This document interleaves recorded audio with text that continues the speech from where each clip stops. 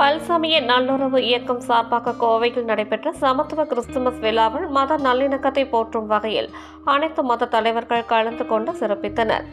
பல்சமய நல்லுறவு இயக்கம் சார்பாக மத நல்லிணக்கத்தை போற்றும் வகையில் பொங்கல் தீபாவளி ரம்ஜான் கிறிஸ்துமஸ் என அனைத்து பண்டிகைகளையும் சமத்துவ விழாவாக ஒவ்வொரு ஆண்டும் கொண்டாடி வருகின்றனர்.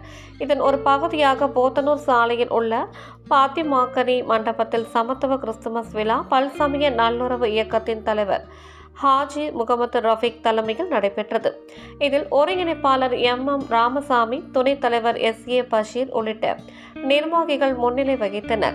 நிகழ்ச்சியில் சிறப்பு விருந்தினர்களாக தமிழ்நாடு சிறுபான்மையினர் நலன் மற்றும் வெளிநாடு வாழ்த்துறை அமைச்சர் செஞ்சி கே. எஸ். மஸ்தான் மாநில சிறுபான்மைத்துறை ஆணைய தலைவர் பீட்டர் அல்போர்ட்ஸ் மனிதநேய மக்கள் கட்சியின் மூத்த தலைவர் ஜவஹருல்லா பேரூர் ஆதீனம் சாந்தலிங்க மருதாச்சல அடிகளார் சிறவை ஆதீனம் குமரகுருப சுவாமிகள் கிறிஸ்தவ பாதிரியார்கள் John Joseph Stanis George Dhanasekar Kovai மாநகர ஜமாத்துல் உலமா சபை நிர்வாகிகள் முகமது அய்யூப் அப்துல் ரஹ்மான் உள்ளிட்ட இந்து மடாதிபதிகள் இஸ்லாமிய குருமார்கள் கிறிஸ்தவ ஃபாதர்கள் என ஏராளமானோர் பங்கேற்றனர். விழாவில் முன்னதாக அனைத்து மத தலைவர்கள் இணைந்து கேக் வெட்டி ஒருவருக்கொருவர் அன்பை பரிமாறினர்.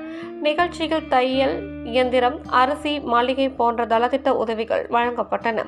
தொடர்ந்து மருத்துவ சேவை சிறந்த சமுதாய சேவை மற்றும் அண்மையில் சென்னையில் ஏற்பட்ட புயல் வெள்ளத்தில் சிறப்பாக செயல்பட்ட தூய்மை பணியாளர்கள் உள்ளிட்டோருக்கு விருதுகள் வழங்கி கௌரவிக்கப்பட்டது. சமத்துவ கிறிஸ்மஸ் விழா கொண்டாடப்பட்டது.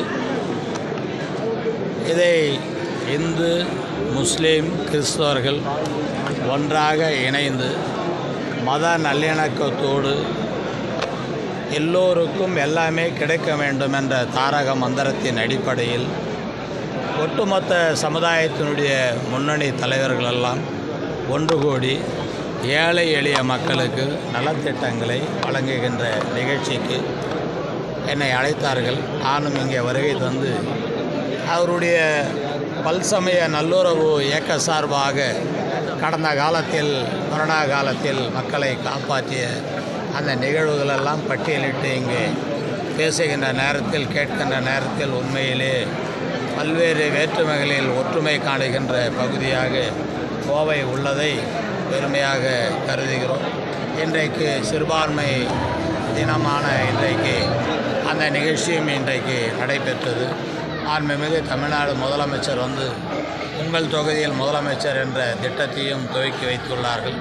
எனவே தமிழகத்தினுடைய வளர்ச்சிக்காக அரும்பாடுபடுகின்ற நம்முடைய மக்கள் முதல்வர் மாண்புமிகு முத்துவேல் கருணாநிதி ஸ்டாலின் அவருடைய கோரிக்கைகள் எல்லாம் என்று சமுதாய மக்கள் ஏற்றுக்கொண்டு இந்த பல்சமய நல்லுறவு சார்பாக நிகழ்ச்சியை